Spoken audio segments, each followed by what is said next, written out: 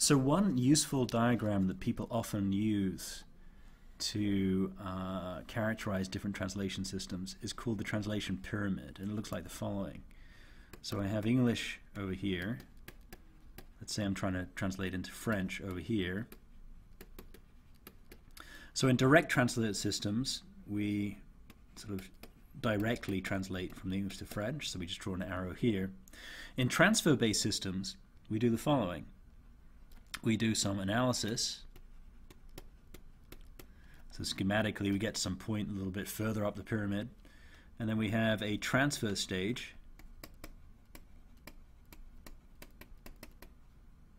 and so this is the English parse tree for example, this is the French parse tree and then finally we have a generation stage. And the intuition behind the pyramid is that if you do a bit of analysis then you have less far to go in this transfer stage. You've made you made your uh, transfer problem a lot easier than in the purely direct case.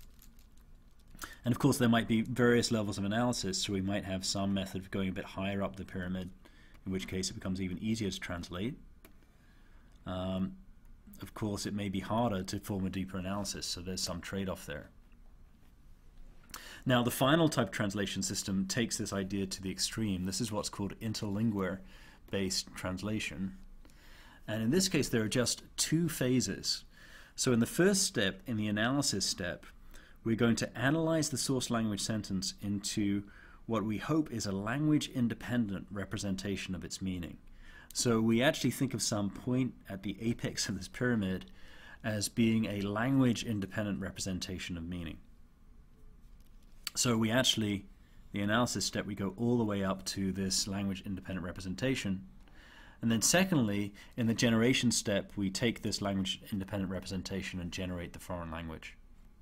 Okay, and the, critically, this is going to depend on some definition of interlingual, which is some representation of the meaning of languages, which is independent of language. There are some potential advantages of this method. So one is the following. Um, in a transfer-based system, let's say we have n different languages, say n equals 10 or n equals 100, and we want to build translation systems between all these different pairs of languages. So in transfer-based systems, for every different pair of languages, we're going to have to build a different transfer lexicon. So we're going to have to rebuild the transfer component of the system. So in this case, n squared is approximately equal to 100. In this squared, uh, this case, n squared is approximately, approximately equal to 10,000. Okay, so that's a lot of work building the different uh, transfer components for the different language pairs. Um, the appealing thing with a an interlingua-based system is that we just need to build n analysis components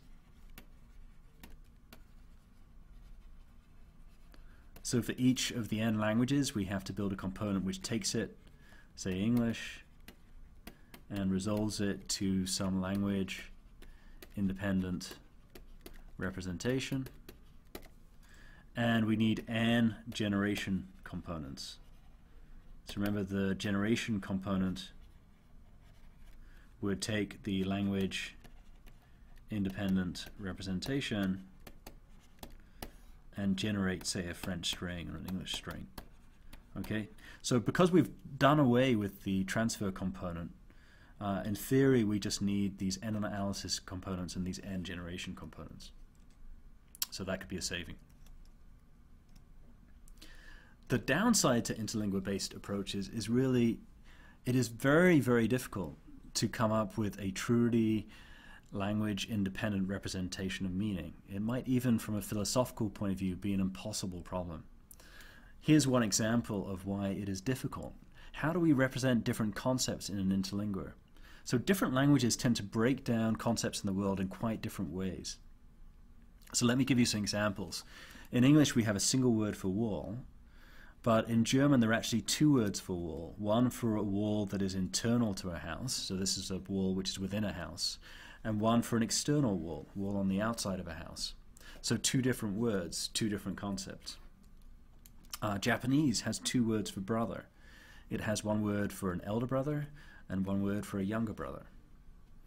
Um, Spanish has two words for the English word leg.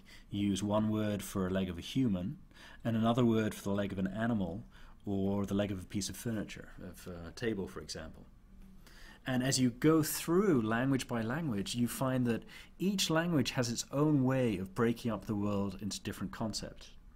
If you're not careful, the interlingua is simply going to be an intersection of the ways of, of these different ways of breaking things down. Uh, or put another way, it's very difficult to um, imagine a priori all the way different ways you could break down concepts in the world. Every time you add a new language to your translation system, the chances are you will be surprised to find some distinction made in that language, but which you hadn't thought of when you were designing the interlingua. So, bottom line is designing an interlingua might be, might be a very, very difficult task because of these kind of conceptual problems.